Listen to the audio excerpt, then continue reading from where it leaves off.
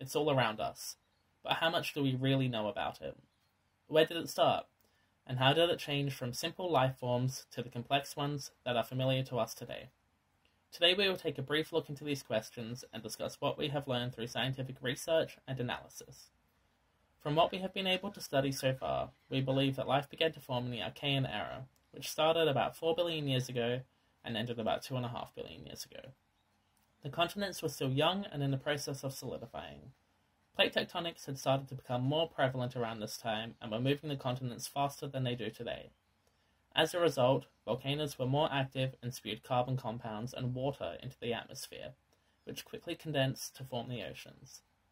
The atmosphere during this time contained a lot of methane, ammonia, and carbon dioxide. This formed a chemical mixture called a reducing environment, which means that it can make electrons available for chemical reaction.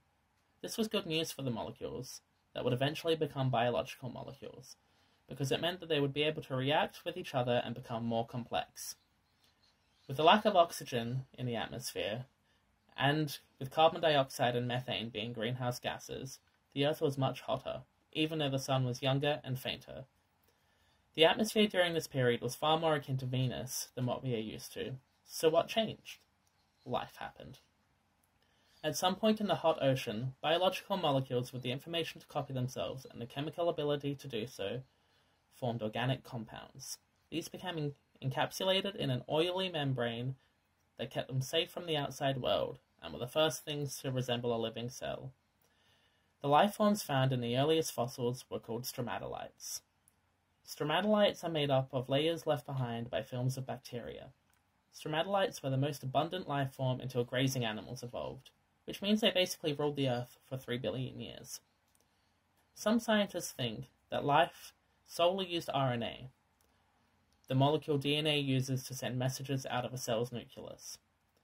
This is called the RNA world hypothesis. RNA is similar to DNA, except it's easier to make. RNA stores information like DNA, but it can tangle itself into shapes that make it easier to create chemical reactions, the way proteins do now. The hypothesis would explain why RNA is used today. Other scientists believe that it would have been too difficult for life to switch from RNA to DNA and protein, and that there is a greater likelihood that all three evolved together. Whether life started with RNA or not, by the time the most common ancestor for all life as we know it came along, it was in use.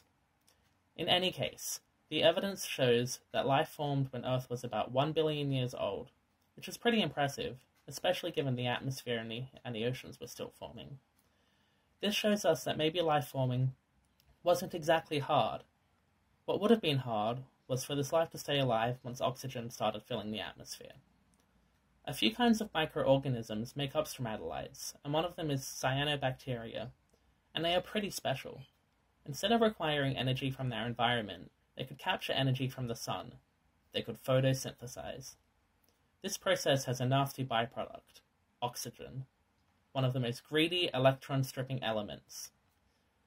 The cyanobacteria started to pump oxygen like there was no tomorrow, and for many of the anaerobic or oxygen-intolerant life forms, there was no tomorrow. They were not used to oxygen and couldn't handle it.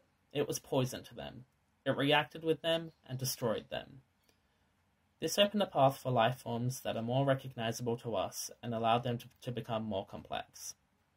These life forms would eventually evolve into the many branches of life that we know today, from plants to animals to fungi and more.